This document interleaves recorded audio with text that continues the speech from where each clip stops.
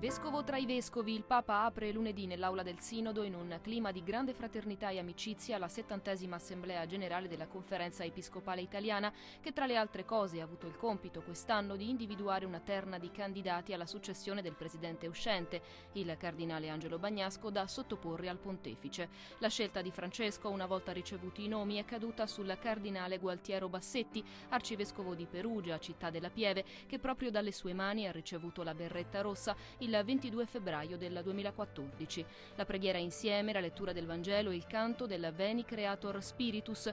Poi è Bagnasco all'inizio dei lavori ad illustrare al Papa le sfide pastorali che attendono la CEI, soffermandosi sulla necessità di ascoltare con sollecitudine la voce dei giovani e rispondere così alle loro aspettative e domande crescenti. Le loro condizioni di vita, la loro capacità di stare insieme e il loro desiderio di costruire il domani ci interpellano e chiamano in causa la nostra responsabilità educativa e testimoniale. L'incontro con loro ci aiuta a riscoprire ogni giorno il primato di Dio nella nostra vita, per pensare e agire in quella libertà che nasce dalla verità. Un tema caro al Papa che più volte ha manifestato la volontà di rimettere i giovani al centro della Chiesa e della società, restituendo loro il futuro dal quale spesso vengono esclusi. Il segretario della CEI, Monsignor Nunzio Galantino. Evidentemente ora c'è la spinta immediata ed il riferimento al sinodo dei giovani, un sinodo che è il sinodo dei vescovi, ma che devono essere, lasciarsi interpellare da quella che è la situazione giovanile di oggi, una situazione che per certi versi cerca un po' di, purtroppo, cerca di, di, di, appiccicare sui giovani l'etichetta di uno scarto perché non vengono tenuti in considerazione fino in fondo, ma dall'altra è un richiamo a vedere veramente nei giovani coloro i quali possono dare un colpo d'ala, un colpo di mano positivo alla nostra politica, alla nostra economia e anche alla nostra vita di ogni giorno.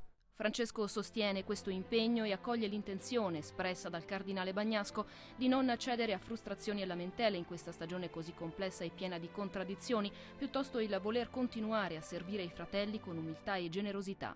Camminate insieme e siate servi della vita in questo tempo ferito, scrive il Papa nel discorso consegnato ai vescovi e ai giornalisti, mentre all'Assemblea riunita concede quasi tre ore di confronto e dialogo riservati. Ancora Monsignor Galantino al centro ci sono state un po', io dico, da una parte anche le preoccupazioni, le preoccupazioni concrete che riguardano i vescovi, che riguardano qualsiasi vescovo, quindi il rapporto con il territorio, la risonanza o anche la mancata risonanza del, dell'annunzio cristiano, i, i, i rapporti, le relazioni, relazioni tra noi vescovi, relazioni con i sacerdoti, relazioni anche con la gente, con la gente che poi è il destinatario principale del nostro impegno. Evidentemente su questi tipi di, diciamo, di temi che poi sono, sono date anche le prospettive verso le, quali, verso le quali muoversi. Se dovessi dire con quali attese si è chiuso un po' il nostro incontro, sicuramente l'attesa di vedere una Chiesa italiana sempre più impegnata, sempre più, diciamo, che si lascia sempre di più interpellare dalle fatiche, ma anche dalle belle speranze che questa nostra Italia mh, propone, vive. Respiro e passo sinodale, comunione e dinamismo per contrastare chiusure, resistenze e infedeltà personali che Francesco definisce una minaccia ben peggiore di quella che proviene dal mondo con le sue persecuzioni. Ancora obbedienza e carità, docilità allo spirito, rifiuto della mondanità, delle logiche di potere e successo, del compromesso e dell'ambiguità. Sono i mattoni su cui il Papa invita i vescovi italiani a costruire con lui una Chiesa rinnovata.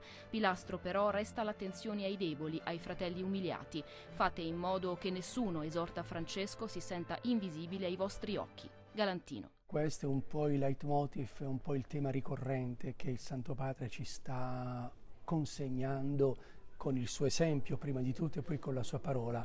Un leitmotiv, un tema ricorrente che poi è il tema ricorrente del Vangelo. Quindi il Papa ci sta riconsegnando in maniera, ripeto, io direi ossessivamente affettuosa, ci sta riconsegnando al Vangelo e ci sta riconsegnando il Vangelo.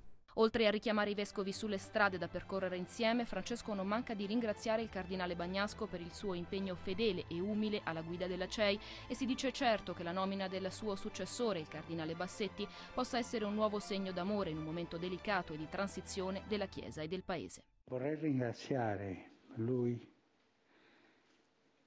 questi dieci anni di servizio nella presidenza